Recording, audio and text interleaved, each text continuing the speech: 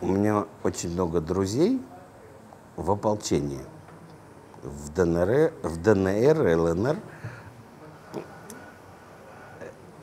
Можно говорить о присутствии российских войск, можно говорить об их отсутствии. Но давайте просто будем честными. Если бы были реальные русские войска там, российские, то уже давно все закончилось, и ничего бы не было. А, просто воры сменили воров, а, пришли грабить дорогой нам, любимый народ. А, вот у, меня домработница, а, она с Западной Украины. Ну, мы все, у нас, каждая встреча начинается с беседы. Я говорю, как у вас там, как у вас там? Она мне все рассказывает.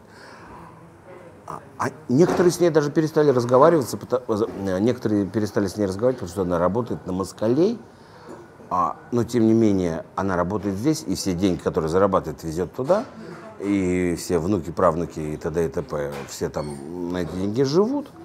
Но это смешно. Ну, с другой стороны, я понимаю, нам же тоже когда-то задурили голову, там, допустим, в семнадцатом году, когда православный русский народ начал э, крушить церкви, э, колокола и сжечь иконы. Видимо, мы тоже подвержены вот каким-то таким совершенно непредсказуемым вещам. Видимо, просто народу Украины что-то там дали понюхать или, или в голову вбили, что они сейчас вот это чудят. Но все равно же приходит когда-то отрезвление.